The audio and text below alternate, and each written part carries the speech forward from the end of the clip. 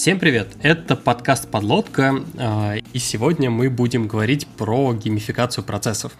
А, сегодня со мной вести выпуск будет Егор Толстой. Привет, Егор! Всем привет, привет, привет! А в гости мы позвали а, сооснователя CTO Level Travel Элина Толстого. Привет, Элина! Всем, всем привет! Тут для наших зрителей я дам вообще небольшой дисклеймер по поводу вообще такой темы, как ну, основной темы нашего выпуска про геймификацию процессов.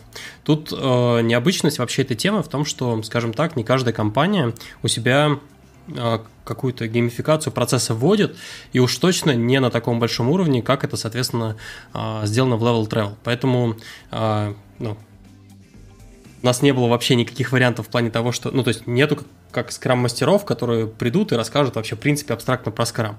Нету вообще какого-то прям готового такого направления, как геймификация процессов в компании. Поэтому вот, э, получается, мы позвали Элина, и он расскажет о том, как э, они э, подошли к этому вопросу и, по сути, как э, изобретали эту историю, соответственно, для своих процессов. Я тут сразу задам такой общий вопрос, который довольно всратый, но его всегда надо задать. А давайте попробуем дать определение тому, а что вообще такое геймификация? Ну, я могу ответить, как я это себе представляю. Это, наверное, э, желание выразить какие-то рабочие процессы, э, рабочие механики в виде э, игровых.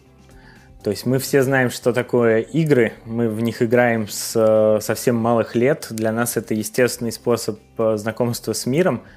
И там как ребенок э, в свои 3-4 года играет, я не знаю, в машинку или там позже в магазин, в больницу. Для него это способ моделирования ситуации вокруг него и способ примерить на себя разные роли, познать какие-то ситуации социальные и жизненные.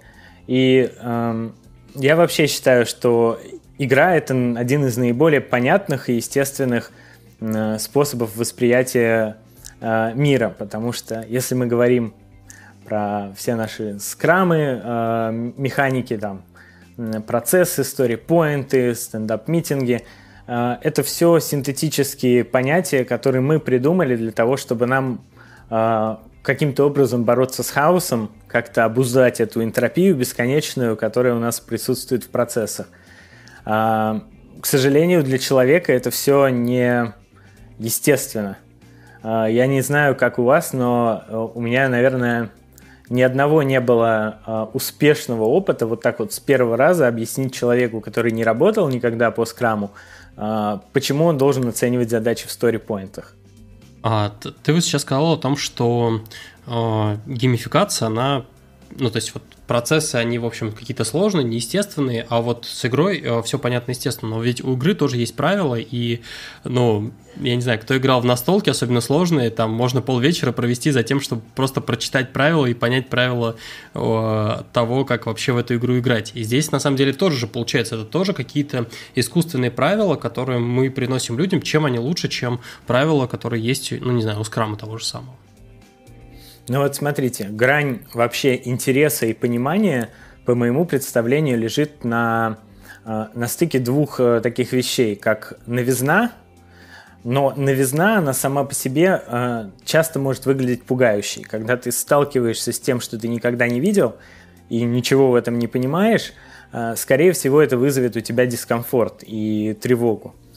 Что-то знакомое, что ты видишь каждый день, и там ты чистишь зубы, ты не боишься своей зубной щетки. А, но когда ты смотришь на зубную щетку, ты думаешь, ну какая же скучная ты э, э, зубная щетка. Так вот, если представить, представить какой-то новый концепт пересечением чего-то знакомого и хорошо понятного и чего-то нового, это вызовет, ну, не просто такое более легкое принятие этой концепции, но и э, э, развивает интерес у субъекта. На этом же основаны ну, многие рекламные механики или там те же парки аттракционов. Угу.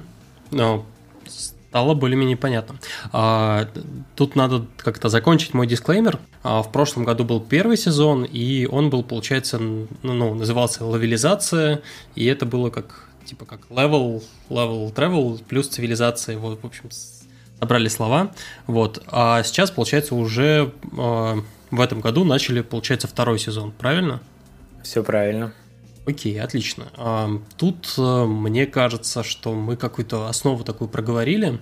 Предлагаю пойти и обсудить, посмотреть, короче, на правила, что, в чем вообще суть, что происходило. То есть э, я предлагаю начать вот с первого сезона, с лавелизации, что там было, какие там были участники, ну то есть немножко правила. Угу. Ну давайте начнем с правил, но надо понимать, что все эти правила они не развивались в вакууме, то есть э, для тех, кто, например, захочет имплементировать у себя какие-то игровые механики, не стоит думать, что вот мы возьмем там каким-то образом скопируем часть этих механик, и они у нас заработают. Э, мы пошли от наших э, задач, да, которые у нас были в команде, там это необходимость масштабирования в два с половиной раза, это нежизнеспособность старых процессов при росте команды, это там, ну, достаточно большое количество было проблем накопившихся. Еще до игры э, я э, принял такое решение. У нас не был структурирован э, департамент да, продукта. У нас были вот разработчики, вот они были разработчики. Был бэкэнд, фронтенд, да. Но это хорошо работало, когда там было 10 человек. Э, собственно, все делали более-менее все. Э, через какое-то время так получилось, что э, непонятно было, на ком конкретно ответственность за тот или иной участок продукта. Потому что если э, задачи размазаны, соответственно, и непонятно, э, кто и отвечает, и кто получает э, там какую-то заслуги за хорошо выполненный участок проекта. Э, так вот, вернусь тогда к правилам. Э, были поделены, была поделена вся команда на лаборатории, так называемые. Это были изолированные подразделения. Э, тогда в них еще не было какого-то ну, локального менеджера. Это был, э, было централизованное управление с продуктового офиса и были команды разработки. Мы рассчитывали на какое-то самоуправление. Они были разделены по бизнес-направлениям. Одна занималась фронтовой частью, которая касается Customer Journey – она у нас называется User Flow. А, там другая занимается достаточно большими бэк-офисными задачами, которые сопровождают процессы бронирования, работы там, нашего внутреннего клиентского сервиса и всего остального. Это Internal Affairs у нас называлась лаборатория. У каждой из этих лабораторий уже был герб, флаг, я их специально подготовил к этому. Ну, то есть это был такой как бы переходный этап. А, собственно, из этого а, как раз тогда же мы у меня представилась возможность познакомиться с замечательной, ну не познакомиться, мы давно были знакомы, но начать работать вместе с замечательной Юлией э, Суворовой. А, и тогда у нас родилась вот эта история с тем, что есть у нас там определенный пласт накопившихся проблем и стандартные способы решения – но они либо предполагают какое-то закручивание гаек, какую-то дикую непонятную возню, либо овер-менеджмент, найм там непонятных э, линейных руководителей на каждую из э, там, проблемных зон и вот такую попытку решить. И мы начали креативить на эту тему, э, чтобы попытаться решить эту задачу как-то более органично и более гладко. А, к чему мы пришли? Мы пришли к тому, что а, есть какая-то общая цель. Вообще, ну, наверное, любая командная работа должна строиться вокруг этой общей цели. Даже если этой цели нет, но тебе нужно людей сработать вместе, нужно придумать такую цель. А, но здесь цель была, и мы просто завернули ее в концепцию того, что вот есть определенный путь, который мы все идем на протяжении всего года мы сделали такую карту большую, а, где каждая из лабораторий была представлена в виде отряда, государства, а, которым необходимо было а, совершить вот этот крестовый поход и дойти до Ватикана. Потому что там совершенно сошел с ума, потерял полный контроль Папа Римский. и, в общем, он творит полную дичь. Чтобы дойти туда, нужно совершить определенное количество шагов. Это количество шагов рассчитывалось непосредственно из размера а, лаборатории и из того, сколько сторипоинтов по эстимейту они могут заделиверить за вот этот годовой период. Помимо этого, да, то есть это основная большая цель. Нужно первым дойти до Ватикана, выполняя сторипоинты. Понятно, что ценности в такой механике особо нет, ну, вроде работаешь, работаешь, ну, когда-нибудь кто-нибудь дойдет. А, кто такой вообще Папа Римский? А, и кто такая Инквизиция? А, инквизиция у нас была QA, подразделения, потому что они были не, э, они как бы не участвовали в гонке, у них другой процесс. Если у всех это agile и движение по майлстоунам, то у них это больше такая канбан механика, да, когда они получают на вход определенный поток, они должны его обработать. Но э, они выполняют роль такого не то чтобы противника, но контролера, да, и они могут пропустить твою задачу, не пропустить, в общем, такие надзиратели. Они же то есть вот это вот качество... Понятно, что у нас есть э, скорость да, выполнения задач, но есть и качество. Нам нужно поддерживать это качество, чтобы э, и не переделывать потом, и, в принципе, чтобы продукт был в хорошем виде. И чтобы решить эту проблему, мы разработали такую метрику, как уровень греха. Уровень греха высчитывался из э, фикс-рейта, это количество отправленных задач э, не прошедших QA да, и возвращенных. То есть каждый раз, когда твоя задача возвращается из QA на доработку, это повышает твой уровень греха. А, превышая этот уровень греха, команда может э, столкнуться с карой небесной. Он кумулятивный. А, кара небесная, что она дает? Да? Ничего хорошего она не дает. Например, стол для пинг-понга из офиса убирается на две недели в кладовку. Стоп, а, а вот я про это хочу спросить. А, ну, тут, получается, отдельное государство, получается, ну, там же как-то должно быть так, чтобы э, ребята из одного государства, они вот наказаны, на них кара небесная, они не играют в пинг-понг, а другие, наоборот, э, у них все хорошо, им нужно еще один стол привести. Вот э, как-то так получается? Или как? Или кара небесная, она просто на всех спускается, кто-то накосячил, и на всей карте все плохо? Бывает и так, и так. То есть у нас были и такие, такие механики, потому что здесь не персональная ответственность да, важна, а нам важна производительность всей команды. И как раз-таки для того, чтобы поддерживать вот эту вот э, командную за, заинтересованность и не навязывать да, эти эстимейты, оценки или что-то другое, мы создали два органа, которые один назывался масонская ложа, это был э, сбор королей. Королями мы называли э, позицию, которая у нас в компании называется продюсер. Это что-то на стыке продукта и проекта в локальной лаборатории. А, вот на этих масонских ложах королей да, определялись а, задачи, которые находились на стыке этих лабораторий. Или какие-то продуктовые значительные изменения, которые там, важны для всей а, команды продуктовой. Это был первый орган. Второй орган назывался, ну, то есть вторая роль, да, в, в команде в каждой, она называлась судья.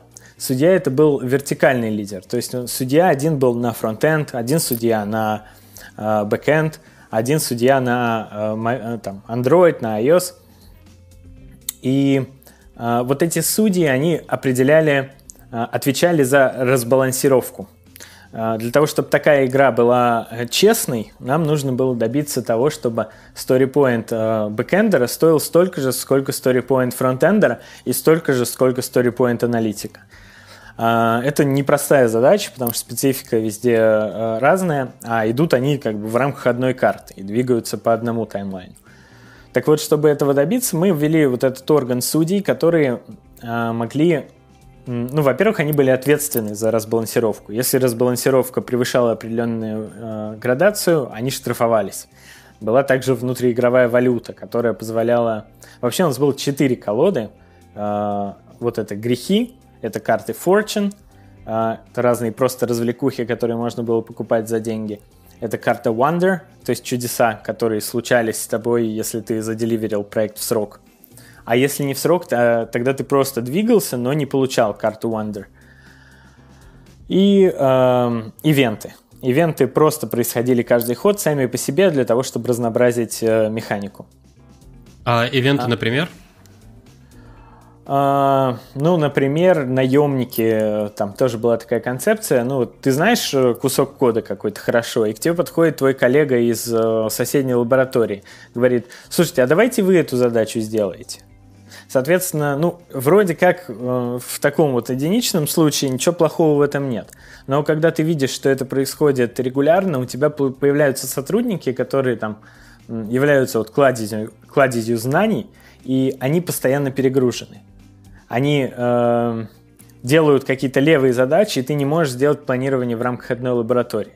Поэтому мы назвали их наемниками – и э, как работала эта механика. Если мне нужна твоя помощь в выполнении какой-то задачи, э, я могу тебя нанять, если э, твой король мне это разрешит. Но фишка в том, что я за твой э, каждый story плачу полтора, story, э, полтора своей голды. Uh-huh. Это как бы демотивирует меня, как э, короля или как всю лабораторию, нанимать кого-то внешнего на эту задачу, потому что это получается дороже. Более того, он еще и двигается на количество story point. То есть он двигает и свою команду, и я еще ему деньги заношу. А, таким образом, мы практически э, сделали команды там самодостаточными, то есть когда им нужно было что-то сделать, их стимулировало это разобраться в теме и не полагаться на внешние силы. А, так, а, на чем я остановился? вот этот орган судей, да, он решал всяческие вопросы, типа, нам нужно перейти на GitFlow. А, это делается по всей компании, то есть это представители, специалисты каждой из вертикалей, они могут принять такое решение и раскатать. Мы вообще, я придерживаюсь тоже такого мнения, что принимать не технические, не организационные решения чисто приказом сверху не вполне эффективно, потому что Э, в любом случае execution этих решений зависит от каждого из членов команды. И э, если ты не донесешь ценности этого до каждого из членов команды, то вряд ли твоя идея может быть реализована в полной мере. Поэтому обычно каждая из таких инициатив, она проходила через э, один из таких органов, либо через масонскую ложу, через, либо через совет судей. Э, деньги и чудеса, они давали тебе определенные преимущества э, в борьбе. А, соответственно, грехи, они могли либо создавать проблемы для всех, либо только для твоей. Я вот так вот задумался о том, что получается фактически э, разные вот лаборатории, это отдельные государства, и они заинтересованы в том, чтобы ну, тут соревновательный дух получается, и они заинтересованы напрямую в том, чтобы победить, а остальные, соответственно, чтобы ну, если кто-то выигрывает, кто-то проигрывает. Вот. А, это в конечном счете на уровне всей компании не приводило к тому, что ну, не то, что каким-то заговором или еще к чему-то, ну, то есть, получается, для тебя важнее, чтобы твое государство победило, а все остальные, в общем, проиграли. Поэтому зачем им помогать? Ты знаешь, это вот э, игра такая есть настолка, стартап. Угу. И вот это очень мне не понравилась игра, честно говоря. Несмотря на то, что она простая и прикольная в своей механике, но, понимаешь, там каждая вторая карточка называется «Как нагадить». Ну вот, типа там, дропнуть базу своему сопернику. Блин, так не делается в бизнесе. Ну как бы, я не знаю ни одного успешного предпринимателя, который бы думал в такой парадигме, что я стану успешным, кого-нибудь другого дропнув. А ну, про предпринимателей это, это правда, но в настольные игры, блин, в, во многих настольных играх э, там в явном виде есть эти карточки, стартап не единственный, и э, когда мы раскатываем эти правила в непредпринимателей, вот, э, ну, такая, такая хотелка у людей может появиться. Вот да, плюсу ведь что, по сути, такое игра? Это какое-то такое безопасное пространство, safe space, особенно ролевая, где ты можешь попробовать примерить на себя какую-то роль, которая там тебе не свойственна, может быть, в обычной жизни, и пережить какой-то опыт и не страдать от каких-то последствий, потому что игра заканчивается, все обнуляется, и даже там все друзья кому-то во время игры нож в спину воткнул, они такие, ха-ха, короче, забыли. На самом деле, конечно, не забыли, но тем не менее. Здесь же тогда такой же эффект есть. Ты знаешь, наверное, здесь было проще, во-первых, потому что мы не стимулировали вот такие механики из серии э, отбрось кого-нибудь назад. Э, мы скорее стимулировали персональные механики. То есть, если я был чемпионом спринта, то мне что-то достается. А, я сейчас потом расскажу про проблемы, с которыми мы столкнулись вот именно в прошлом, прошлогодней механике, и почему мы допилили текущую механику. И lifespan вот этой игры, то, что она длилась, ну, год, считай, она, наверное, тоже не подразумевает то, что, ну, вот я буду гадить локально кому-то. Ну, потому что все работают вместе, это культурная, как бы, особенность еще. Ну, и у нас такая атмосфера, и вообще, мне кажется, что просто так, короче, я не видел, чтобы люди хотели э, кого-то э, зачмырить. Они, наоборот, хотели помочь. У нас в конце За монетку была... золотую. Ты знаешь, ну, когда-то да, но в конце у нас была ситуация, когда две лаборатории были очень близко друг к другу. Одни могли выиграть реально. Там была финальная битва, но они реально отдали победу этим чувакам. Ну, по факту. Эм, да, ну, основной приз был это поездка в Рим. Вот ребята, к сожалению, сейчас с текущей ситуацией не могут никак реализовать ее. Хотели на майские поехать. Вот. Ну, в общем, вся эта лаборатория, да, она отправлялась э, в Рим. У меня, наверное, вот из вопросов таких еще то, что если это игра, э, для любой игры важен э, какой-то, не знаю, конфликт. То есть, если э, все слишком просто, то в эту игру неинтересно играть. А, то есть э, должен быть какой-то и баланс, и все остальное. Я, если честно, ну, наверное, не очень хорошо представляю так вот по умолчанию, что у каждой игры должно быть, но кажется, э, э, просто взять и придумать игру, в которую будет интересно людям играть, это не очень э, простая задача. И из-за этого вот вопрос, вы саму механику игры сами продумывали или, может быть, советовали с каким-то геймдизайнером или еще с кем-то, кто, собственно, в этом разбирается? Да, безусловно, это непростая задача, и мы довольно много времени потратили, но на самом деле на запуск мы потратили три недели на вот подготовку все. А до этого мы там еще порядка месяца просто обдумывали, как это эм, может выглядеть. А, ну да, я, например, общался со своим хорошим знакомым приятелем Стасом Верига из Destiny эм, студии, вот этой игровой. И, ну, тут, понимаешь, задача была не сделать супер интересную игру, э, за которую люди будут готовы платить деньги.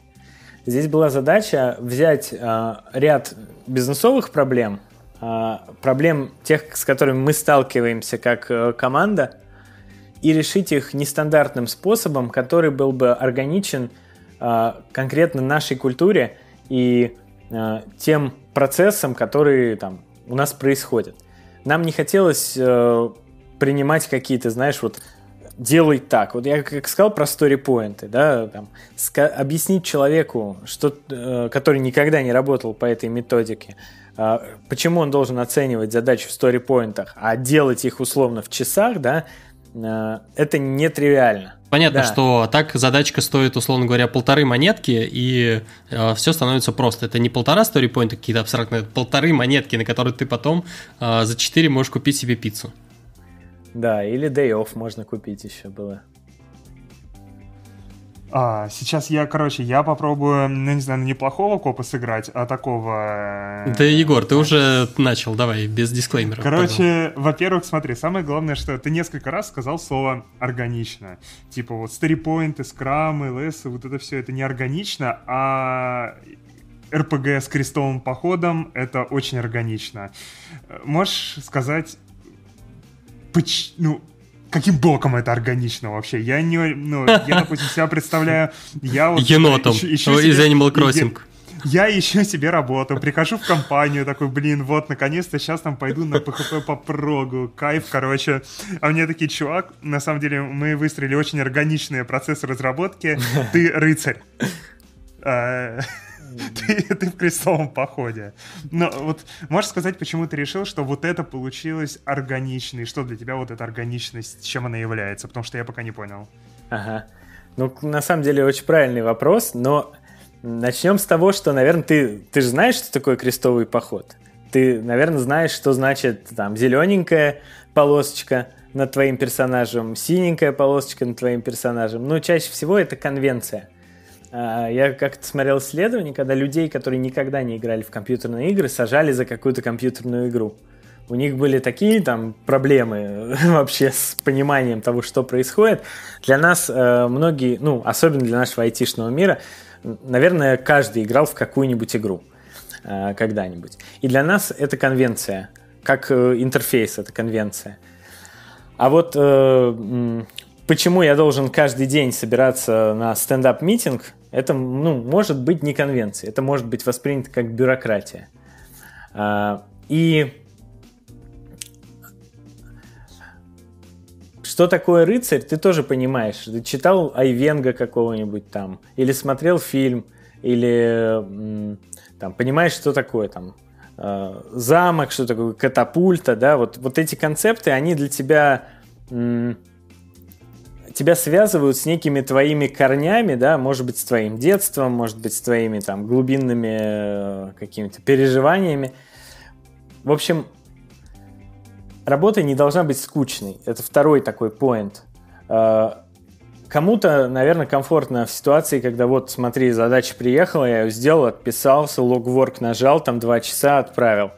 Э, мы и команду, собственно, собираем таким образом, чтобы там были люди, которым интересно делать что-то новое и интересно находиться в среде, которая enable их э, творить что-то, креативить что-то, создавать. новые земли. Да. Эм, и, кстати, еще один пример с органичностью. Вот э, есть два примера, например, игр. Э, оба FPS, э, first person шутеры. Вот есть, по-моему, в Halo там ты начинаешь играть, тебя на экране сразу появляется такой текстовый блок и предлагает тебе ознакомиться с инструкцией, как тебе э, пользоваться механикой боя. Я вообще не считаю, что это органично. Прерывать игровой процесс ради того, чтобы дать тебе инструкцию, это примерно то же самое, что дать тебе инструкцию по методологии скрама. Другой пример Half-Life. А, в Half-Life ты заходишь, а, ну, допустим, во вторую – и там какой-то новый э, мутант тебе предлагается, чтобы его победить. Ты думаешь, блин, как его победить? Но понимаешь, первый раз, когда ты с ним встречаешься, он за решеткой, и он не, не атакует тебя. И ты в комфортной для себя обстановке можешь взять бочку, у тебя грави, гравипушка в руках, ты берешь бочку, бросаешь в него, и он взрывается. И ты понимаешь, ага, оказывается, я могу вот этих чуваков гасить бочкой.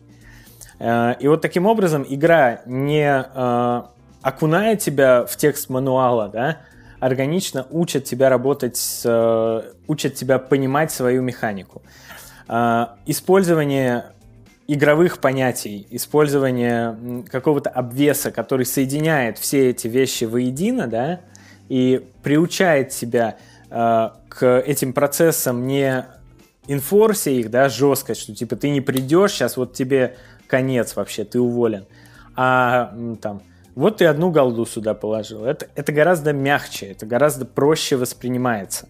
Да, кто-то, кто-то подумал, что это дебилизм, что мы здесь в детском саду. Ну, тут вопрос еще подачи, понимаешь? Вот я просто в это верю, поэтому я могу про это рассказать тебе. И там, если ты со мной согласишься или хотя бы подумаешь, что прикольная идея, давай попробуем, а, может, и у нас и получится. А если кто-то попытается взять э, там реально не задумываясь и не приняв это для себя и внедрить это, возможно, это будет воспринято совершенно по-другому. Отсюда и вывод такой, что, наверное, это не для всех подходит. Это должно в первую очередь подходить для человека, который занимается менеджментом и управлением этой командой. У меня вот здесь просто сразу, пока ты говорил, было много тезисов, с которыми хотелось поспорить. Но, во-первых, да, хочу сразу указать свою позицию, что, во-первых, спор такой, он здесь скорее теоретический, потому что если у вас это работает, получилось, это клево, и, наверное, не могу заявлять, что, типа, блин, оно так не работает, раз у вас работает, то значит норм. А, но все равно хочется больше разобраться. А, вот ты говоришь, опять же, что вот скрам и прочее неорганично, играет органично, но очень же важен контекст условно говоря, да, если я сажусь поиграть в GTA, а мне предлагают, ну не, братан, ты, короче, извини, должен работать по скраму, вот у тебя есть итерация, за эту итерацию гони 7 тачек и обязательно приди, а, приди на daily meeting. Это, естественно, меня вырубит, из, ну, это меня, я не пойму, что происходит. Но что, по сути, такое там скрам, другие методологии? Это какие-то принятые правила игры в данном контексте, где контекст — это, там, скажем, работа в IT. Это то, чего ты ожидаешь, то, с чем ты знаешь, как работать. Это какой-то контекст, в котором тебе легко принимать решения. А, легко находить общий язык с другими людьми и объяснять, что происходит. Тебе не нужно тратить кучу мозговых усилий на какие-то рутинные процессы. И ты можешь сосредоточиться на работе. Я на это так смотрю. То, что ты говоришь, игра органично людям привычна, это да, но не в любом же контексте. Это вот, как говорю, скрам притащить в GTA, так и наоборот, GTA притащить в работу. Это довольно, по крайней мере, для меня немного выбивает почву из-под ног, во-первых. Во-вторых, второй тезис, и он рядом с этим. А, система, которую ты описываешь, да, наверное, в идеальном мире все работает клево. Но есть такая замечательная штука, как закон о текущих абстракциях, что в какой-то момент времени, какую бы абстракцию ты ни построил, она у тебя начнет протекать. И кажется как раз-таки, что вот если эта абстракция бы не текла, действительно все очень клево. Но в какой-то момент э, происходит какая-то фигня в процессе разработки, с которой ты раньше не сталкивался. И то, что в том же скраме давно порешено и понятно, как решать, вам нужно приходить, собирать, я не знаю, коллегию судей, э, братство всевластия, не знаю, что-то еще, и пытаться придумать, как вам затюнить правила, чтобы это легло на механику игры. Это непонятно непонятно, это, кажется, замедляет, вырывает из контекста, ломает механику, вот это все. Короче говоря, поинт такой. Абстракции текут, кажется, невозможно построить систему, которая будет полностью описывать реальный мир, и придется постоянно ее переигрывать. Вот. И то, что вот этот поинт про органичность, э, да, с учетом твоей оговорки, что ты говоришь, не для всех это подходит, наверное, я действительно принимаю. Я, наверное, спорю с тем, что это органично, а не с тем, что оно не заработает. Вот. Егор, ты не хотел бы получать ЦП не в деревянных, а голдой?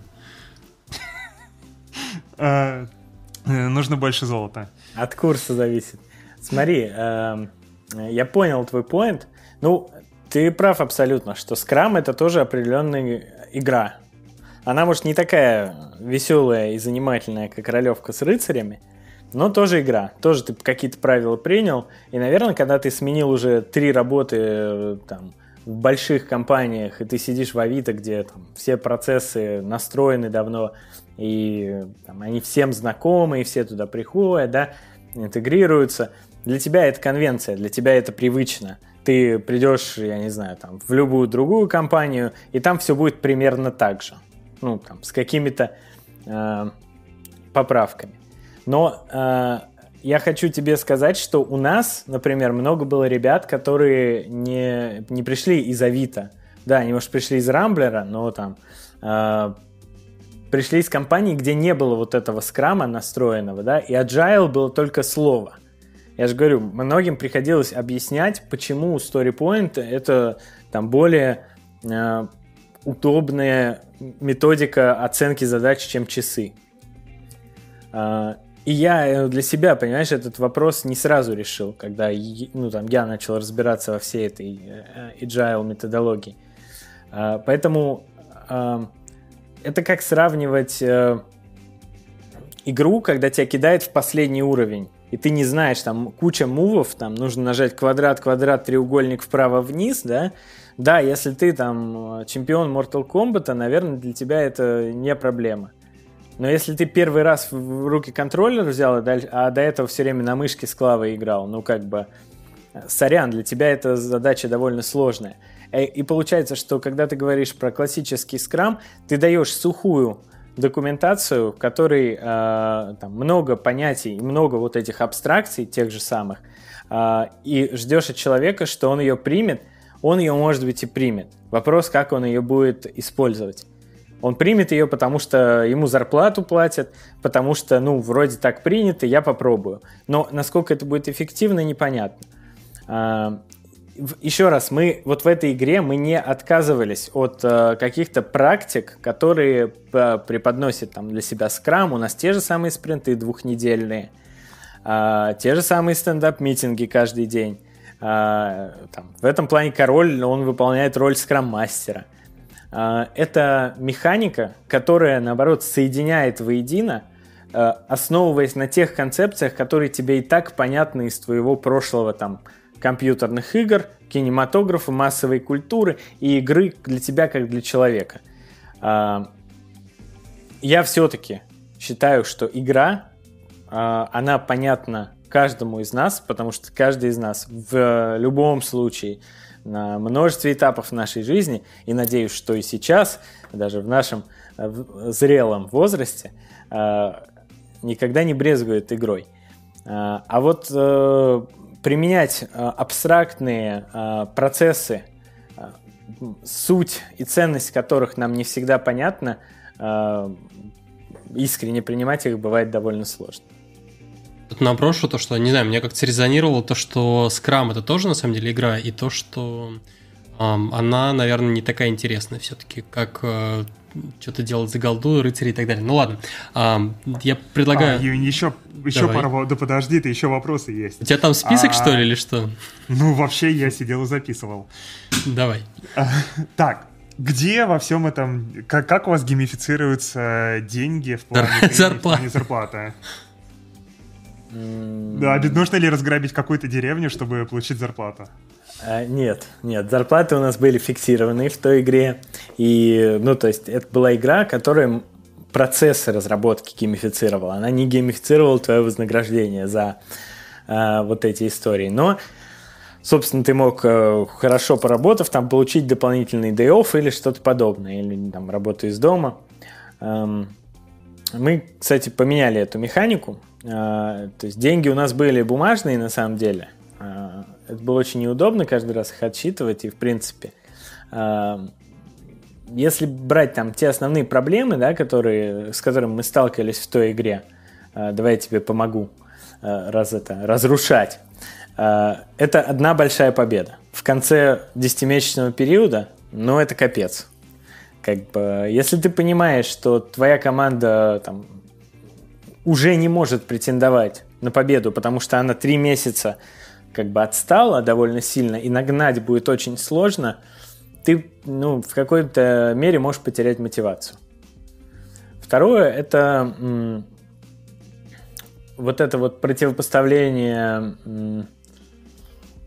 ну да, дизайн, кстати, у нас был как картограф, отдельный человек, а, это было бюро картографии, они эти карты должны были покупать. То есть они платили свою голду за макеты это заставляло их э, в какой-то мере э, более специфично обрисовывать свои требования к макетам, к дизайну, а не ожидать, что им будут их по 10 раз, по 10 итераций переделывать. То есть это, ну, как бы каждая из этих вот штучек, она преследует определенную цель, да, которую, определенную проблему, с которой мы столкнулись. Так вот, вот эту валюту мы полностью отменили в игре этого года. У нас нет денег теперь. А, теперь основной э, ресурс, да, как э, она тоже называется лавализация, просто нам понравилось название, просто уже она апокалипсис, лавализация апокалипсис. И сеттинг там э, как раз-таки с вирусом, всякое.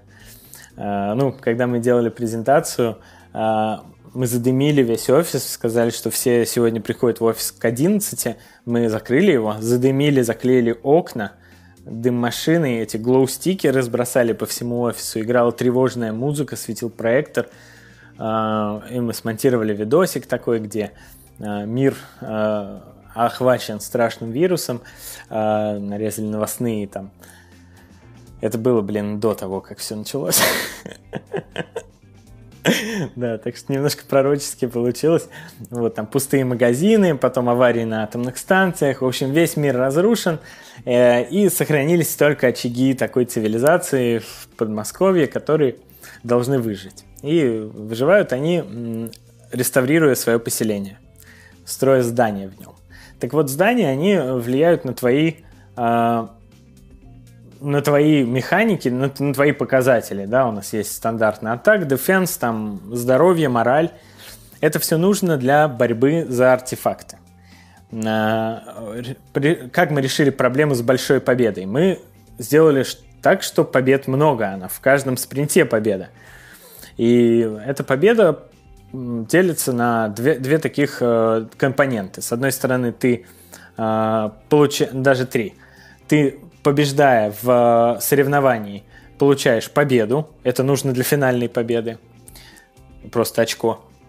Э, ты получаешь артефакт. Артефакт дает тебе boost на определенные показатели твоего города. И ты получаешь некий физический подарок. Мы планировали, что это будет э, ну, все происходить в офисе, поэтому это было бы несколько проще. Но вот сейчас мы там Э, либо команда получает, каждый участник получает там по набору сладостей, либо вот последний артефакт был камуфляж, э, ребята получили по несколько масок э, таких вот, ну, защитных разных с прикольными дизайнами. То есть это какая-то привязка к физическому миру каждой такой победы. Помимо этого, там, чемпион спринта, у которого больше всего стори-поинтов, он еще и приносит определенный boost своей команде. А, в этой итерации игры для нас очень важен, а, важна была точность планирования. Потому что, несмотря на то, что мы решили многие проблемы предыдущего да, периода, мы все еще не можем достоверно планировать, она составляет точность планирования меньше там, 70%. А, даже на каких-то довольно простых там, задачах. И поэтому мы внесли, ну, там у нас были коммитменты, но теперь за commitment э, ты получаешь boost по морали.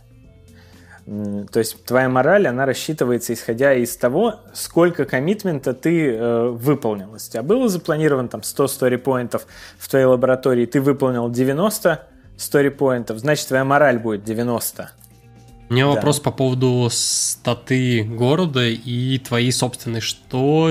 Я так понял, то, что э, построенные там здания, всякие артефакты и все остальное, это влияет на э, показатели э, зданий в городе. А вопрос в том, что э, ну, а это, в свою очередь, влияет на твои показатели.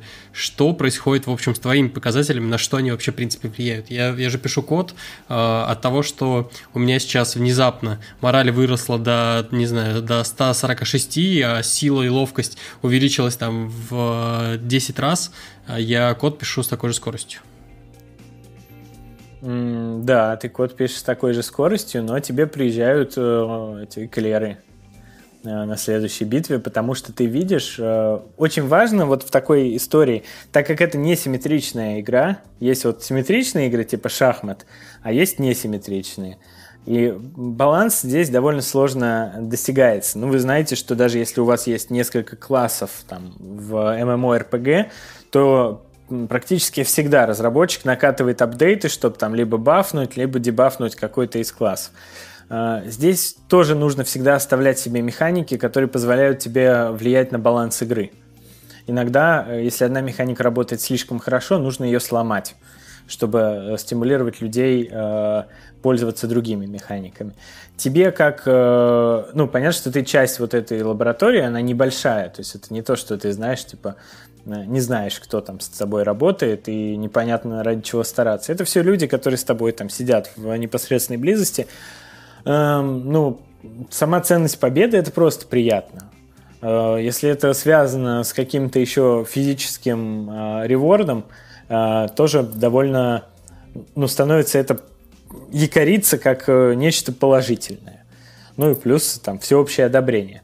Э, тут и для прошлой, и для этой игры э, первым шагом, что мы сделали, это была, ну, такая сквозная аналитика всего этого процесса. То есть мы можем нырнуть а, мы подключили опишку Jira, да, всосали это в нашу базу данных, визуализировали на нашей системе BI. А, и а, ну, мы можем в разрезе как человека посмотреть его эффективность, лаборатории, каждого эпика, И у нас есть отдельный борт, который говорит нам об игровых показателях. Там вот эти все вещи, про которые я говорил, уровень греха, баланс, там в новой игре это уровень радиации. А, это все видно, и ты понимаешь, как у нас идут дела. То есть, да, Burn Down Chart там тоже есть. Мы тоже на него смотрим. Мы не пытаемся заменить какие-то там э, все абстракцией. Э, но э, вот это вот э, сеттинг, он связывает вот эти вещи воедино. У тебя больше это не вызывает отторжения, у тебя это становится, ну, какой-то, ну, такой штукой, которая фоново происходит. Это не э, игра, с которой, с которой тебе надо играть постоянно и, и там грандить и постоянно угонять машины, как в GTA, чтобы просто заработать себе на опрессор второй. Ну и, кстати, опрессор это плохая механика. Хорошо, ну, чтобы ни в одной игре такой механики не было, потому что она оверпауэрит э, всех остальных. Это про баланс.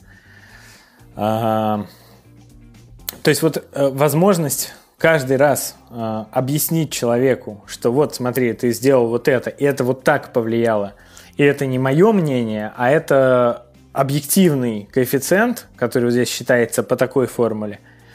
Э, поэтому же бои у нас, да, которые происходят в конце каждого спринта, происходят э, с помощью там софта, который я написал.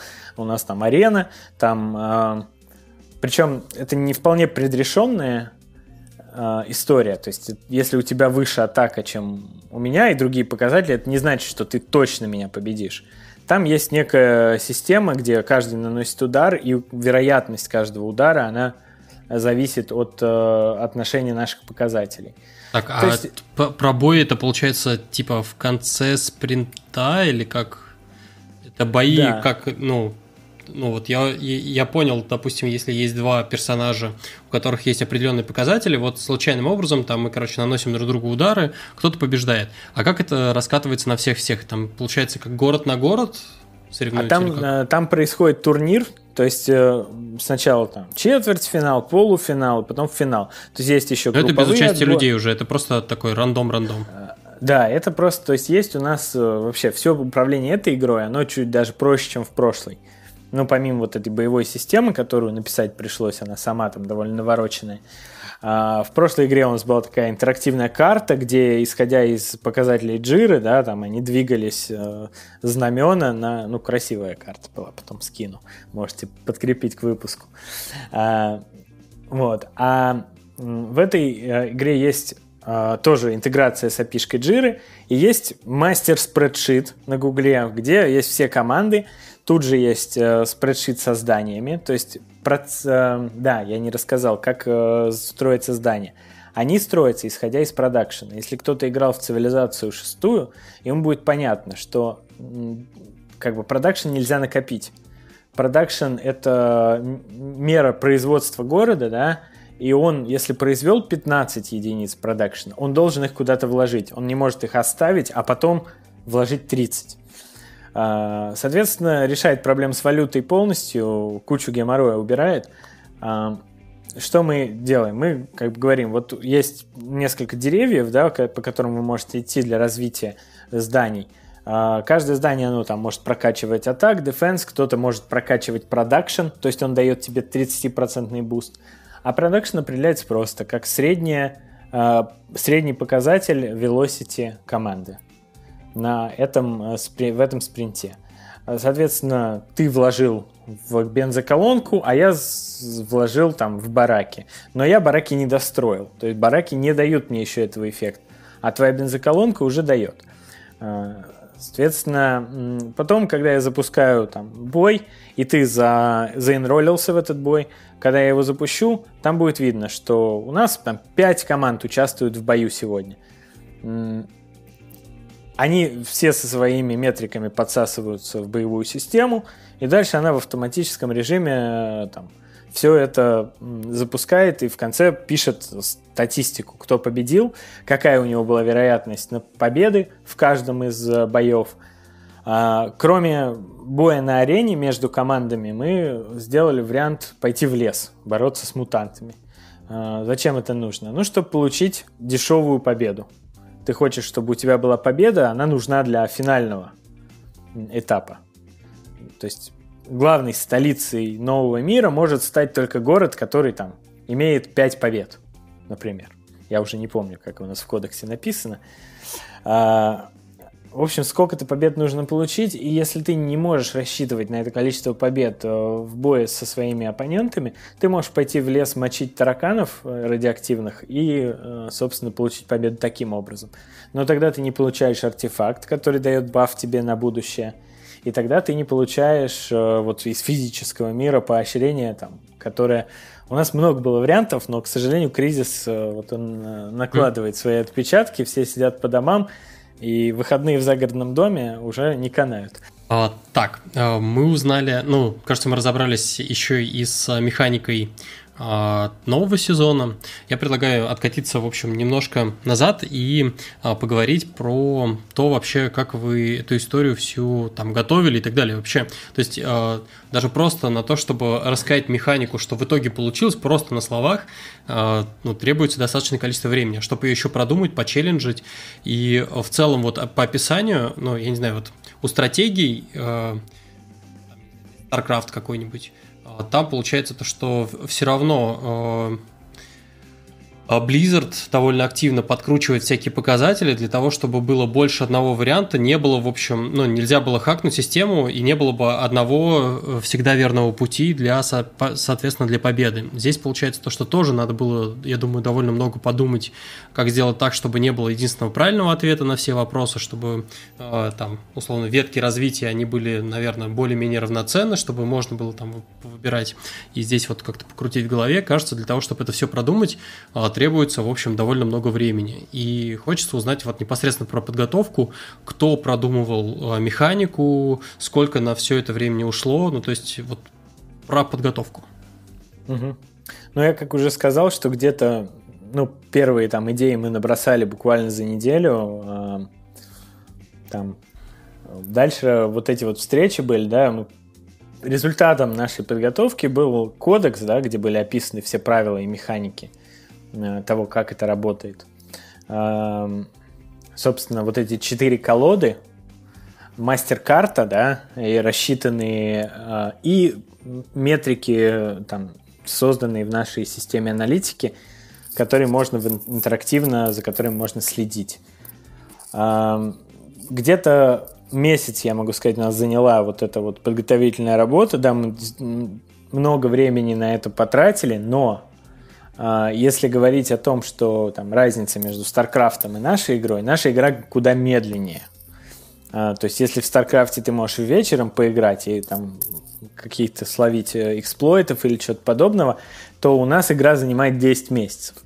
Поэтому у нас, скажем так, было время отреагировать на какую-то историю, и важно было, чтобы у нас сохранялась возможность вносить эти коррективы, накладывать эти патчи, а, мы их каким-то образом накладывали. Да, у нас были изменения в правилах, некоторые из них, э, да, там вызывали определенное э, недовольство игроков, но э, это в любой игре ты там любимый класс чей-то дебафаешь и как бы сразу там поднимается кипиш в комментариях. Поэтому, да, тебе нужны механизмы, как ты сможешь контролировать, там, насколько игра сбалансирована в ее процессе. А, кто, а, ты вот говорил мы, мы, мы, кто а, входил, собственно, в команду, которая продумывала эти правила? Это преимущественно мы с Юлей. Угу. Суворовой, да. Ну, то есть вы прям вдвоем продумывали, или вы подключали, получается, вот продюсеров? Ну, то есть как... тут же тоже вопрос в чем? В том, что ты ну, хорошо рассказываешь про эту про игру, про правила, ну, я тебе верю. А тут вопрос в том, что если компания ну, большая, получается то, что нужно брать и раскатывать эти правила в команды, и а, на любом, там, не знаю, уровне, а, если находится там менеджер или кто-то формальный или неформальный лидер, который не принимает эти правила, он в том числе будет влиять на то, как оно будет в команду вкатываться. То есть это же дополнительные сложности, и очевидно тут а, тоже надо было как-то, наверное, вовлечь людей а, там на разных уровнях в обсуждение этих правил, ну там перед раскаткой или как? Ну, надо, с одной стороны, уметь... А, нет, я сейчас отвечу на вопрос, что да, мы планировали эту игру там с моим лид UX-дизайнером еще Лешей и с Юлей. Преимущественно там никого мы больше не привлекали.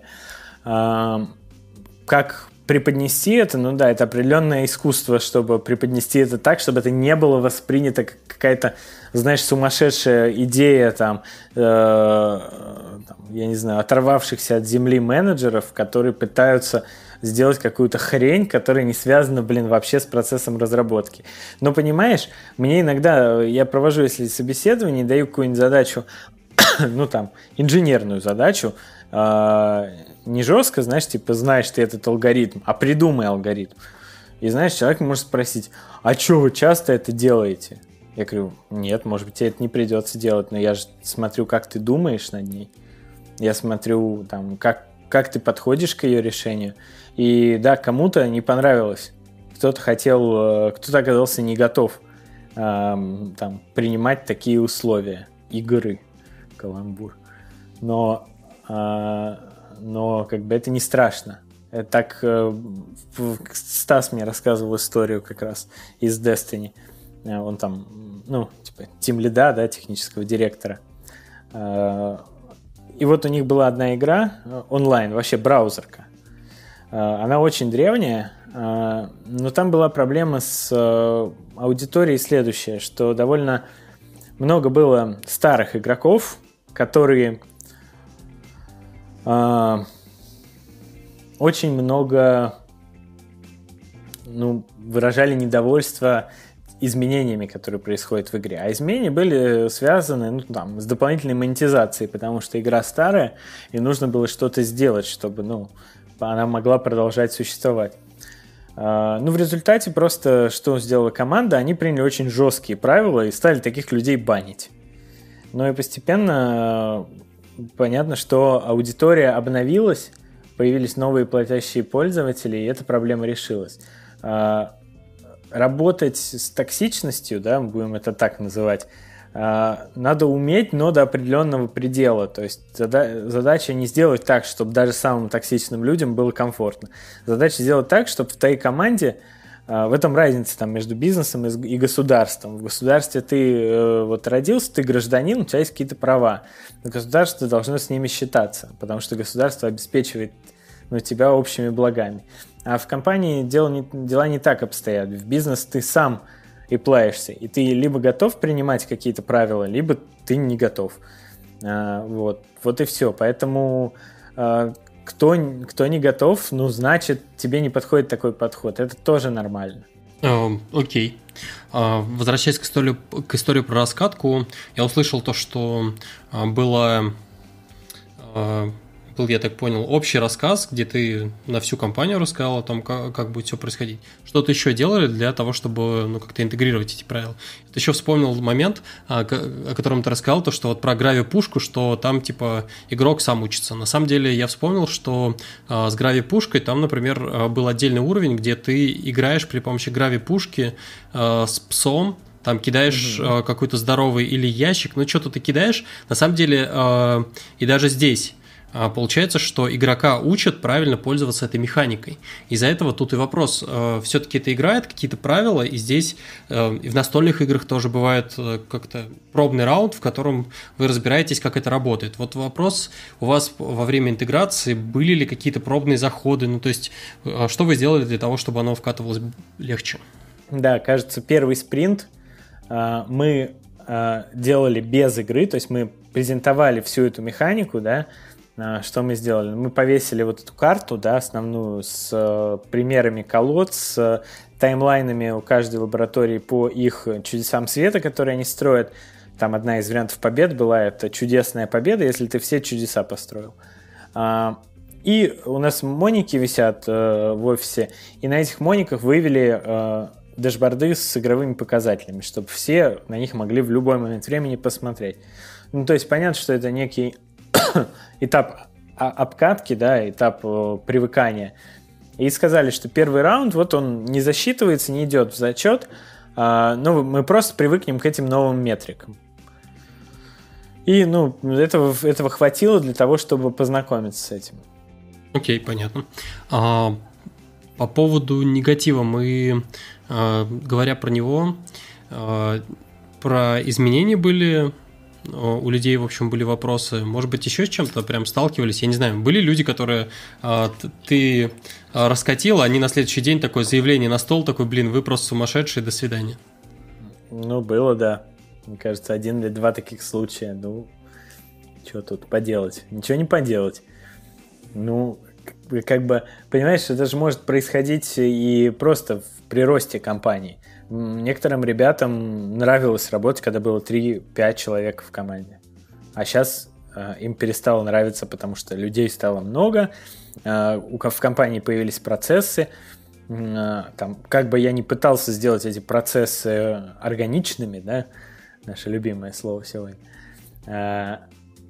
все равно появляются процессы той анархии Wild West ее не, невозможно сохранить да, при большой команде.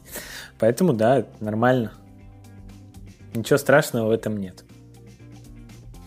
А, тогда такой еще вопрос. А часто ли у вас э, ломалась четвертая стена?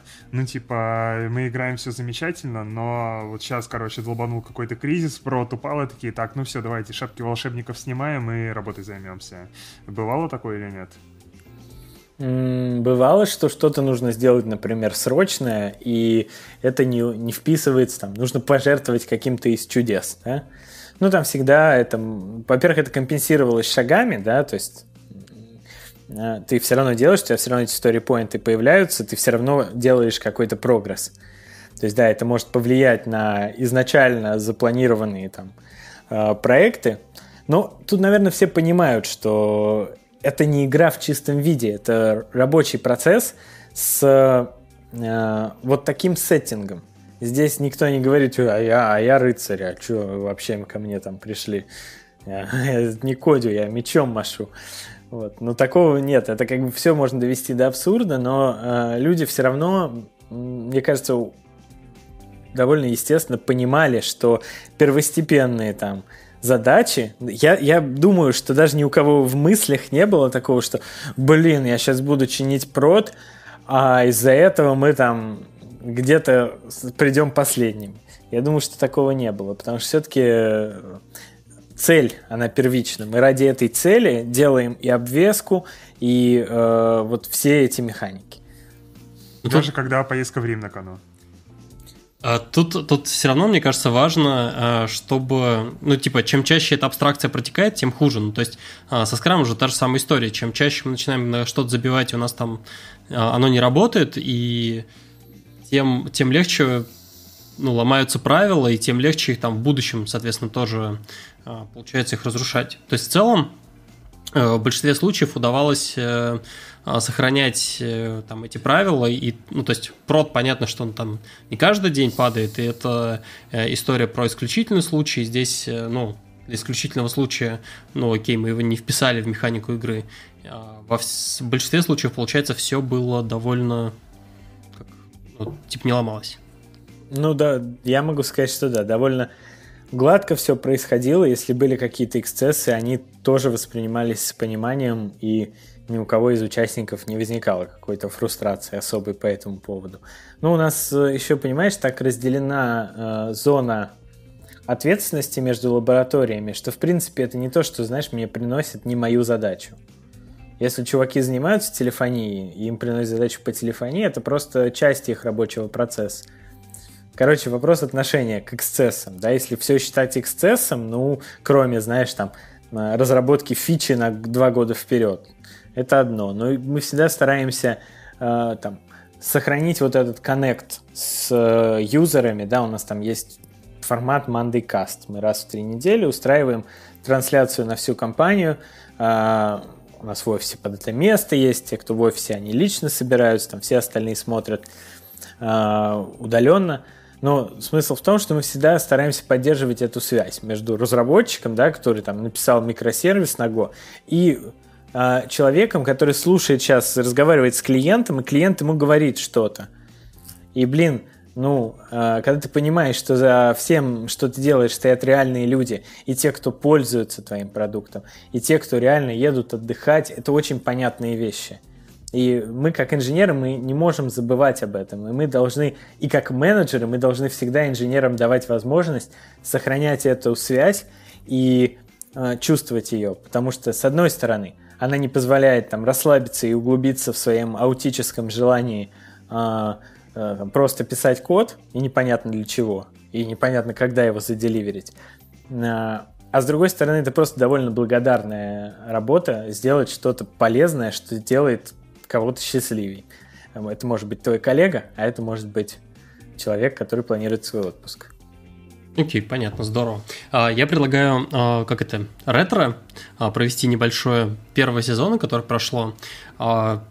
Вот история про мы шли в крестовым походом, вот у нас была какая-то большая цель, в общем, все двигалось, это все прекрасно. Я предлагаю здесь разрушить, собственно, эту четвертую стену и посмотреть, в общем, на ради чего это затевалось. Ну, то есть, если есть какая-то большая цель, она, наверное, на какие-то или бизнес-показатели ложилась, или там это был в конечном счете какой-то большой проект или что-то. Ну, то есть, э, наверное в конечном счете, э, когда подводили итоги, получается, года, насколько удалось э, закрыть вот эту вот большую цель, которая стояла за вот этой вот игровой абстракцией? Ну, я, как уже сказал, целей было на самом деле несколько. Ну, то угу. есть, первое это workflow на растущей команде. То есть, а команду нужно отмасштабировать, нужно нанять кучу новых людей, они должны быть интегрированы в какие-то процессы, и все это должно продолжить работать эффективно. С одной стороны, оста- а, остаться вот там по культуре небольшим стартапом, а с другой стороны, а, начать уже планировать на более длительный срок, начать выпускать продукт, который там никогда не ломается при выкатке, ну, условно, там 99,99 аптайма. То есть такой это general. А, плюс workflow самого движения каждой из э, задач. Да, у нас там есть верхний уровень, это инициатива, дальше эпики, э, дальше уже там могут быть таски. А, то, как туда вписаны процессы тестирования, э, это тоже была одна из важных вещей. То есть то, как... То есть сейчас, например, у нас есть этап, где ТЗ присылается в QA-департамент, и там готовится как бы тест-кейсы под это ТЗ. Сначала продюсер этой лаборатории может посмотреть, вот какие тест-кейсы будут прогоняться по этому ТЗ. А, ну и вообще сам, сама стоит машина вот, э, движения этих задач. А, продуктовый workflow, да, я как уже сказал, до этой игры у нас не было этих королей продюсеров в лабораториях. И как бы получалось, что вот эта продуктово-проектная функция была сосредоточена в, в этом, в Project офисе. Это неправильная была для нас совершенно стратегия, она плохо работала, но это то, что мы смогли сделать быстро. Да? А, в процессе этой игры мы смогли э, перейти на независимые лаборатории, и по факту продюсеров, э, ну, многих мы взяли э, изнутри, и они действительно сделали классный, качественный там, скачок в своей квалификации, и меня действительно очень приятно удивляют те результаты. А я, я понимаю, какая цель вообще у того, ну, ради чего вы вообще геймификацию внедряли.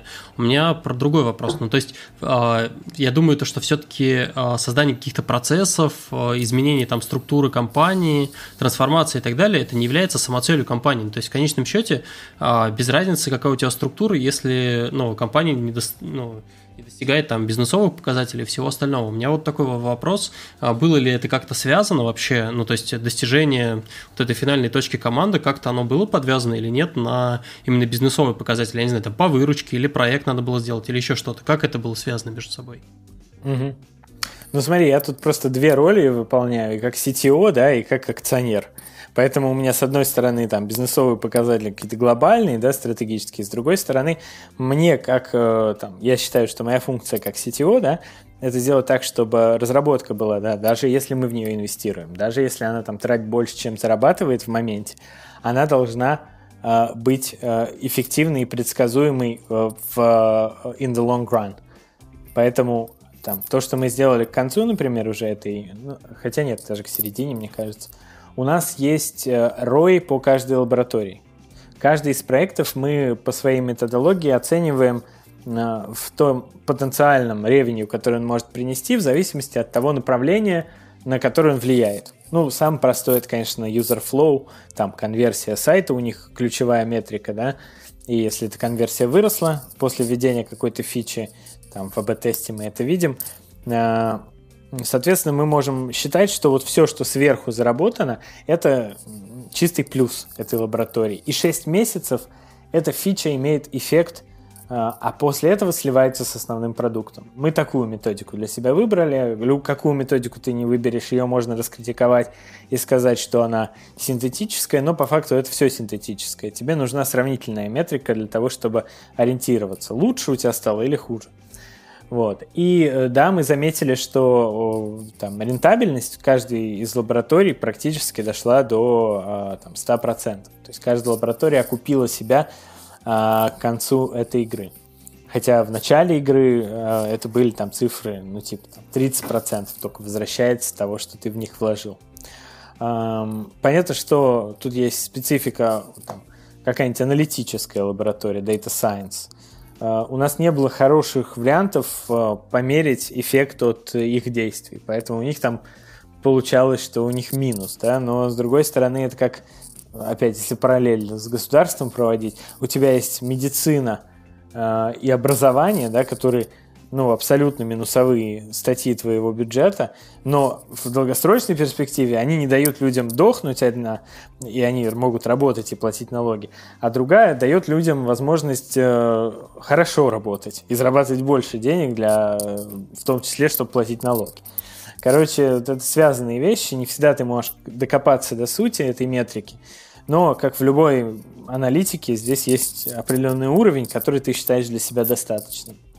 А, я, я почему вот этот вопрос задал? Потому что у меня почему-то в самом начале как-то сложилось в голове, что это было нечто похожее на какие-то ОКР или еще что-то. И, то есть, и вот это вот движение, оно было, ну, то есть, если у тебя есть какая-то глобальная цель у компании, а, логичным кажется, ну, если у тебя есть отдельные там лаборатории, взять ее, декомпозировать и, соответственно, вот эту вот цель игровую представить ее в виде, ну, под целью, которую ты хочешь отдать в конкретной лаборатории, там, департамент, а, ее, соответственно, замаскировать под э, цель э, игровую, чтобы люди, соответственно, туда стремились.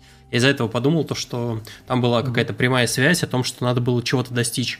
Или там конверсию увеличить, или там, не знаю, какое-то количество фичей, или там проект сделать и так далее. Все это надо было сделать. Это все надо было сделать. Но я говорю, опять, если относиться к этому как к тому, чтобы замаскировать что-то, ну, это все равно, что, знаешь, ребенку таблетку в варенье развел и дал. Но это недальновидная стратегия. Люди не идиоты, особенно, я надеюсь, в IT, которые, с которыми мы все работаем.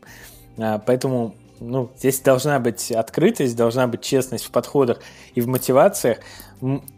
Вообще, ты, если ты как менеджер и как лидер мыслишь, ты, твоя задача это помочь человеку более быстрым способом достичь его целей. И желательно, если ваши цели заэлайнены. И обычно большие цели еще и никогда не пересекаются между собой. То есть не может такого быть, что твоя цель конфликтует с моей. А, поэтому, да, если там ты э, веришь, что я могу тебе помочь, там, и мы можем вместе достигнуть больше, чем по отдельности, ты мне, соответственно, доверяешь. А, вот без этого доверия я сколько не запихаю там, это вот в какую-то сладкую оболочку, да, ты вряд ли на нее купишься. Поэтому а, мы всегда объясняем, зачем мы что-то делаем, там, в игровой механике, не в игровой. Да и просто, понимаешь, вот э, мне прикольно, что у нас э, есть вот такая активити, которая, ну, не, по факту, она не занимает много времени, она занимает у нас там вот у нас есть демо, да, там все также рассказывают о тех проектах, которые закрыли. Они не рассказывают, что я сегодня спас принцессу от дракона, понимаешь? Они показывают свою... Э, Блин, ну вот. Свою, как бы, Э, работу. А потом мы смотрим на эти показатели. Каждый из этих показателей каждому очевиден. То есть мы все понимаем, что они связаны с нашей работой. Это не маскировка э, и не подмена понятий. Это некая э, оболочка, которая дорожки между этими с, связанными вещами. Блин, ты просто, когда ты пишешь код, абсолютно а, понятно, что, наверное, тебе сложно постоянно перескакивать от вот этого твоей архитектурной задачи, да, или локальной, к тому, как сверху, если посмотреть, работает э, вся команда и как она деливерит. Она в срок не попала. Я прихожу, тебе говорю, блин, чуваки, вы не попали в срок. Вы понимаете, какие это, ну, какие проблемы вы сгенерировали для своих коллег и для э, там э, всей компании? Потому что другие чуваки рассчитывали на то, что это будет к этому. Теперь у нас все поедет, короче, полный трэш будет. Это понятно. А, но для тебя это не всегда может быть естественно думать об этом и держать это в голове. А мы тебе создаем фреймворк, в котором, а, знаешь, есть такой бизнес-модел canvas, да, такой, как вот думать о, об идее для бизнеса. Там, значит, что я решаю за проблему, кто моя аудитория. Там прям ячейки есть. И вот эта вот геймификация для нас это набор ячеек, э, в которых ты э, в одних написаны циферки, в другие ты сам что-то должен написать. Но посмотрев на это все э, взглядом своим, ты можешь быстро понять, что не так, что происходит вообще, куда мы двигаемся. И, и делаем мы это ну, в такой в ненапряжной форме, то есть не, не в форме, значит, казенных, блин, отчетов принеси мне отчет по сделанным сторипоинтам. А мы делаем это в игровой форме. Потому что нам так нравится, потому что это прикольней и потому что почему бы и нет. Угу. Ну, я понял то, что э, э, так, такой вопрос задам. И, э, получается то, что секрет успеха в этой игре это э, как это там, команды, э, там государства, города э, в том, чтобы максимально хорошо, ну вот во втором сезоне, получается, игра направлена на то, чтобы хорошо планироваться, соответственно, а, самое важное, ну, если ты на этом сфокусируешься, то у тебя, ну, не то, что победа в кармане, но это, типа, хорошая стратегия такая для того, чтобы, соответственно, в этой игре выиграть. Угу. А, а в первом сезоне, соответственно, была задача в том, чтобы просто, ну, не просто, а по объему выполненных задач сделать как можно больше, но по факту там больше всего золота принести, там сторипоинтов, соответственно, и так далее. Да, ну мы здесь еще фокусировались на том, чтобы сохранить э, долгосрочную мотивацию. Угу. То есть из-за того, что у нас вариативность в этой игре выше, э, во второй, то, что победы случаются каждые два спринта, и каждые два спринта есть механика, ты не просто смотришь, что вот эти чуваки подвинулись настолько, а эти настолько, и там на десятимесячном пути это какие-то ну, небольшие доли. Здесь же все э, чуть более живо происходит, и мы стараемся выделять. Вот сейчас, например, QA мы по-другому построили. Раньше у нас QA был э, как отдельное подразделение, да, которое обслуживало каждую из лабораторий. Сейчас мы э, переформировали его и сделали таких вот бродяг, то, что мы называем. И эти бродяги, они припочковываются каждые два спринта к новой лаборатории. Ну, во-первых, это позволяет э, не концентрировать какие-то знания да, в одной голове. Это позволяет избежать там замыливания глаза на одном проекте. Это позволяет там добавить вариативности в подходе и, э, и требует документирования. То есть, понимаешь, это Игровая механика, ну хрен знает, это игровая механика или нет. Потому что пилоты, два которых садятся да, в самолет, во-первых, их ротируют. Я не, не думаю, что они называют это игрой, но там, типа, мы с тобой, если летим туда, это не факт, что мы будем лететь обратно. Если у авиакомпании есть возможность, они нас поменяют. Зачем это делать? Ну, чтобы э, я знал, что если Стас там, да он всегда проверяет закрылки, зачем мне его спрашивать? Стас же молодец, но нет, если это новый чувак здесь сидит, которого я э, э, не знаю, я должен с ним по чек-листу пройти точно так же. Мы все mm. люди, мы не идеальные машины, и для нас вот эти вот э, когнитивные э, трюки, они хорошо работают. Они просто не должны использоваться из-под тяжка. Если они задекларированы, и, в, им, и как бы мы понимаем, что да, мы люди, у нас куча вот оптических иллюзий, мне что-то может примерещиться, э, но если я знаю, что такое может произойти, и я знаю, как мне установить сейфгарды для того, чтобы я продолжал быть резилиент, продолжал бы быть эффективным, продолжал иметь возможность выполнять свои функции, ну, почему бы и нет. Окей. А, вопрос, наверное, такой... А провокационный, может быть. Расскажи о самых больших факапах, которые произошли вообще в первом сезоне. А, задам вопрос за Катю. Три самых больших факапа. Ну вот первый, давай, ладно. Первый факап это вот эта валюта, потому что у нас э, нечего особо было покупать в игре. То есть у нас были вот эти вот карточки, а, которые давали такие там плюшки, но отгул, например, нам понятно, что нам было не очень выгодно, что люди тратят деньги на отгулы. Ну, потому что это не поддерживает никаким образом игровую механику, не поддерживает рабочие процессы. А, они у нас были, ну, они стоили там довольно дорого, а, но все равно ими люди пользовались. А, какие-то... У нас там были приколюхи, типа пол – это лава, и нельзя было по полу ходить, ну, в офисе. Ну, конечно, или там все должны прийти в свитерах с оленями. Но, правда, это был август прошлого года. И, короче, вот такие приколюхи, ну, совсем синтетические, которые ни к чему не привязаны, они э, не прикольные. Ну, то есть, если ты вводишь такую приколюху, ты, она должна быть какой-то, знаешь, простой, типа там, э, чувак у нас один с громким голосом каждый раз заходит и говорит «Всем привет!» И вот э, там была приколюха, что он должен теперь каждый день на новом языке говорить «Всем привет!» Ну вот такое, это норм. А то, что все должны прийти, я не знаю, там, в, э, в, в свитере с оленями, ну, у кого-то просто нет этого свитера.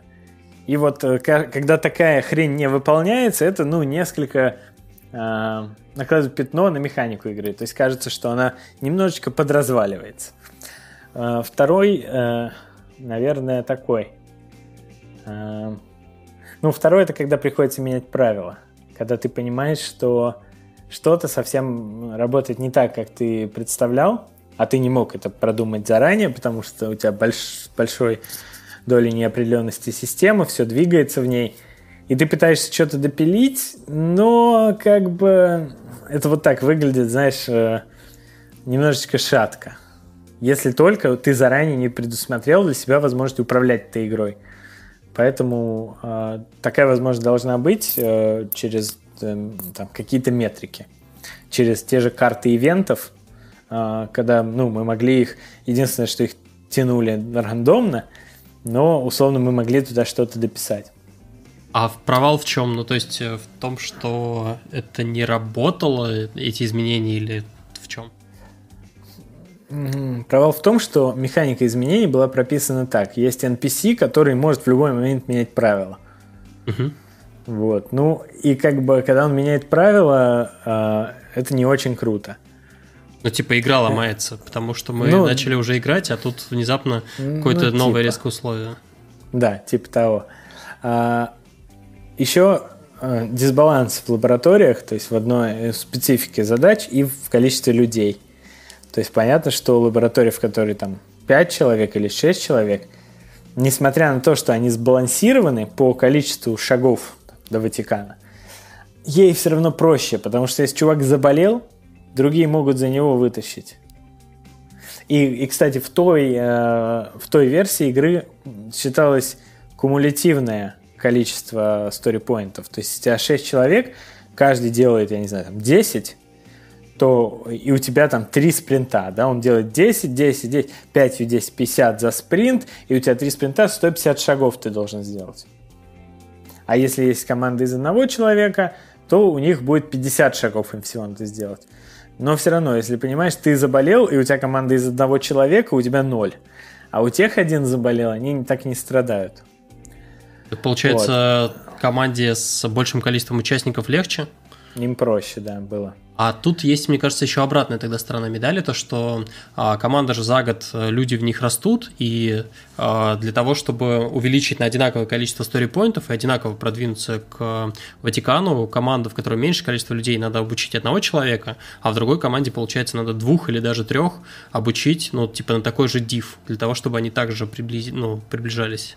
Ну, а что значит обучить? Ну, ну типа ra- развить, там, докачать, я не знаю, там. А кто их развивает, понимаешь? Их часто развивают их же коллеги. То есть, если ты работаешь с пятью другими людьми, ну, у тебя больше возможностей спросить что-то или вместе над чем-то подумать, и, возможно, ты быстрее продвинешься. А, ну, и, короче, я, а есть там у нас лаборатория, у которых там, она занимается интеграциями как раз с поставщиками туристических услуг других.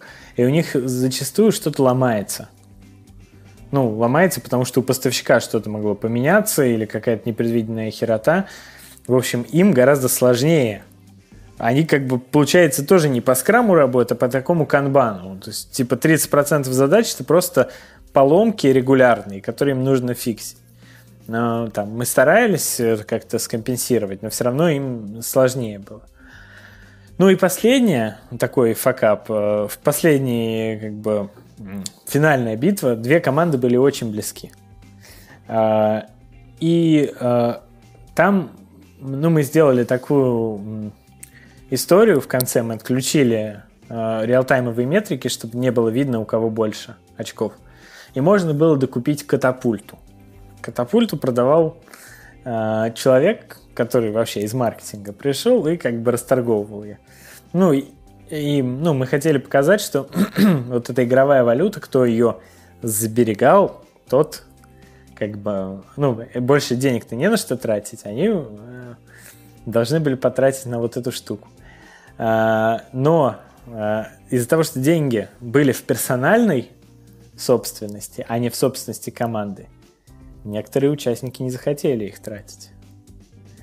И поэтому, ну, скажем так, битва развернулась не так, как мы представляли.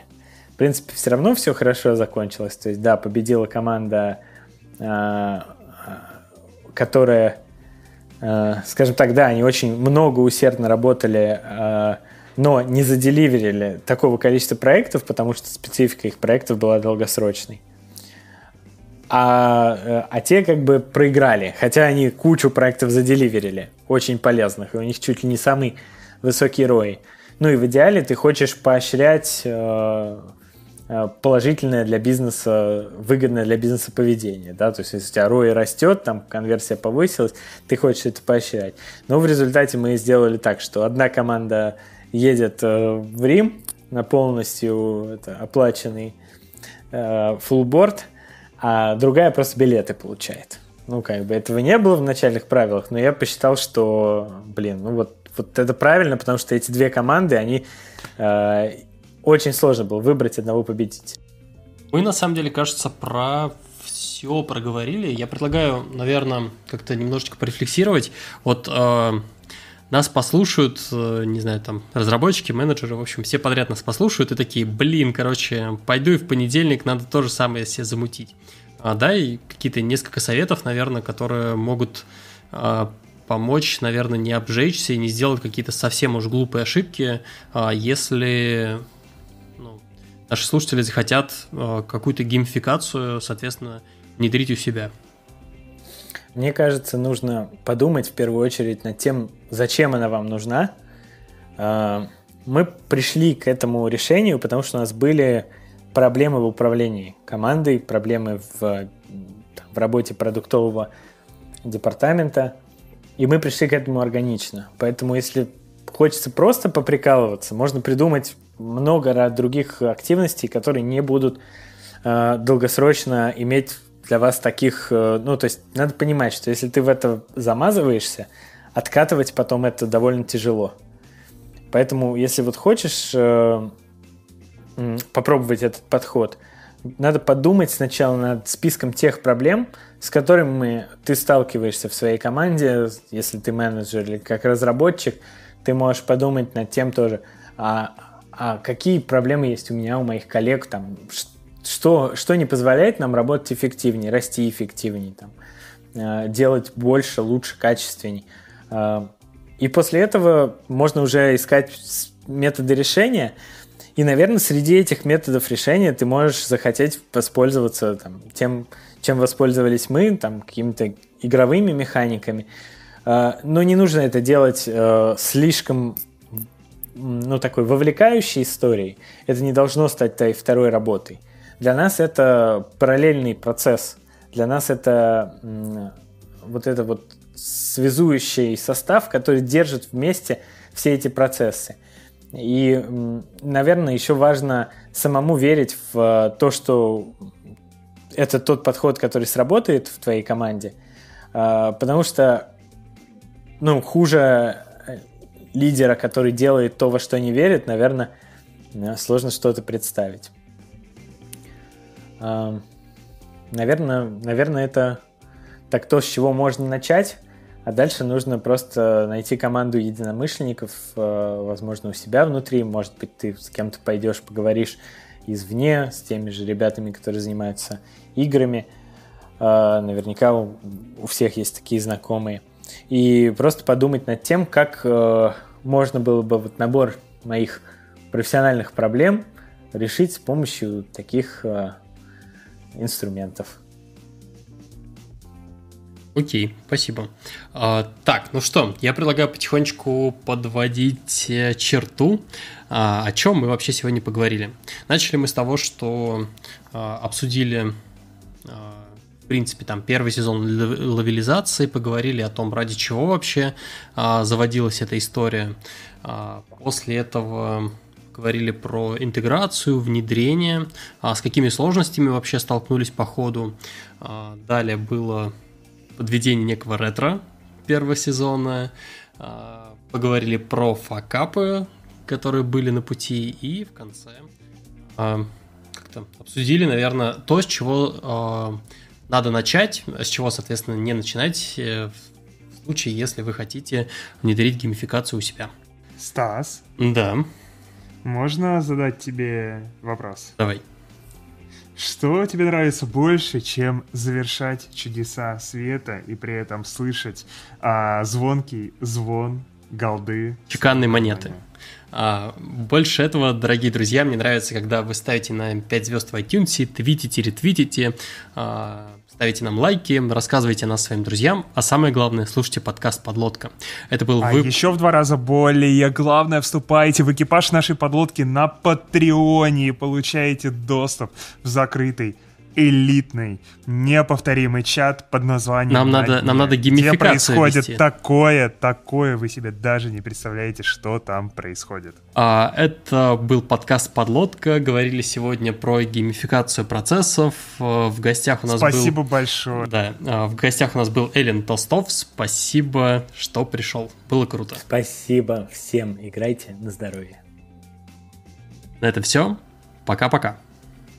Пока. -пока. Пока.